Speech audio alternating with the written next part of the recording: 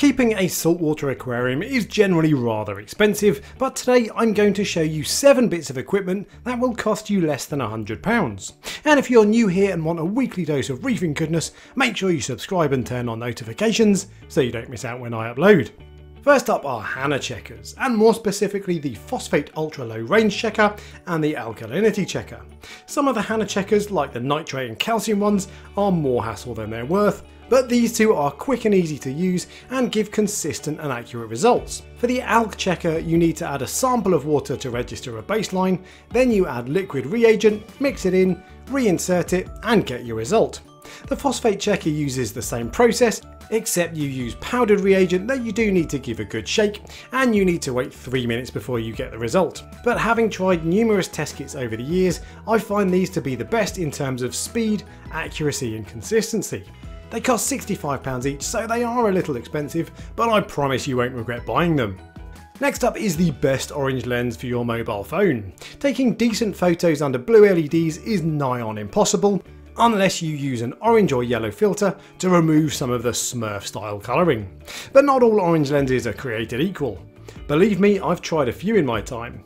For mobile phones, the best I've found is the second generation DD lens. And second generation is the important part. The first one they made wasn't very good, but they've selected a much more appropriate shade of orange now that works really well. And the clip you're seeing of the frag tank at my local fish shop Reef Dreams was taken with a second generation DD lens and my Samsung Galaxy S20. And as a Brucey bonus, if you have a DSLR camera, you should check out the Tiffen 85B filters, which are even better than the DD filters. Next up are Jecod return pumps. All Jecod returns up to about 6,500 litres per hour will set you back less than a ton. And not only are they cheap, they're also very quiet, fully adjustable, and more reliable than they've got any right to be at this price. They're so good in fact that it's hard to justify the extra cash for some of the sexier brands. And if you're looking to save money anywhere on a new tank, Jecod pumps are the first place you should look. Next up is one of the most overlooked bits of kit in the hobby, a fish trap. There are plenty of fish in the hobby that are considered to be reef safe with caution, but often that actually translates to "we'll eat all of your corals immediately. But most of these guys are just so damn stunning that I think they're worth taking the risk on. And if they go rogue, a £40 fish trap like this one from Aquamedic will be much easier than tearing down your entire rockscape and chasing the little blighter with a net. First on the podium is this 4-way power supply splitter.